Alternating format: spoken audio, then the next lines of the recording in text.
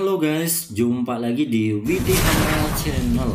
Channel informatif dan edukatif yang akan memperkaya pengetahuan dan mengupgrade skill Anda. Di video saya tentang cara save file media WhatsApp web ada beberapa viewer yang bertanya bagaimana agar file yang kita terima di WhatsApp web dapat di-download sekaligus, tidak perlu dilakukan satu persatu. Jadi pada video ini saya buat untuk menjawab pertanyaan tersebut yaitu bagaimana cara uh, download banyak file media sekaligus di WhatsApp web dan saya contohkan kali ini file medianya berupa foto atau gambar ya. Nanti teman-teman yang punya file berupa video boleh eh, dicoba sesuai dengan langkah-langkah yang ada pada video ini. Oke dan kali ini saya menggunakan WhatsApp di browser ya. Buat kawan-kawan pengguna aplikasi WhatsApp web nanti sebentar caranya agak sedikit berbeda ya terutama pada saat penyimpanan Oke, dan ini langkah pertama kita masuk ke WhatsApp webnya kita, terus kita pilih uh, file yang hendak kita download atau pesan dari nomor mana yang hendak kita download. Nah, seperti ini ya, contohnya. Kalau kita melakukan download, kebanyakan orang pasti uh, klik seperti ini dan muncul semua fotonya ya. Terus pada bagian atas di sini kita akan pilih unduh atau download. Itu kalau proses downloadnya satu persatu ya. Jadi kita bisa memilih-milih foto mana yang hendak kita download. Tetapi jika teman-teman hendak melakukan download sekaligus, maka ini teman-teman lihat pada bagian uh, foto sebelah kiri apa kanan ini ada anak panah di sini.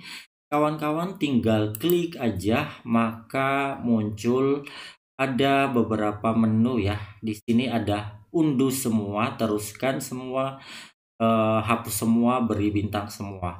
Karena kita hendak eh, unduh semua, maka teman-teman tinggal pilih aja nih unduh semua. Oke, kita pilih unduh semua, maka proses downloadnya uh, memulai dan ini teman-teman pengguna browser ya.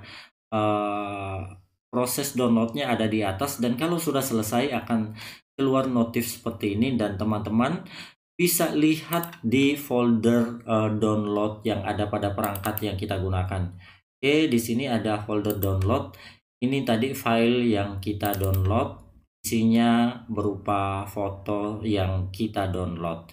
Dan selanjutnya, teman-teman kalau mau pindahkan ke folder penyimpanan tersendiri silakan. Yaitu kalau pengguna WhatsApp web dari browser.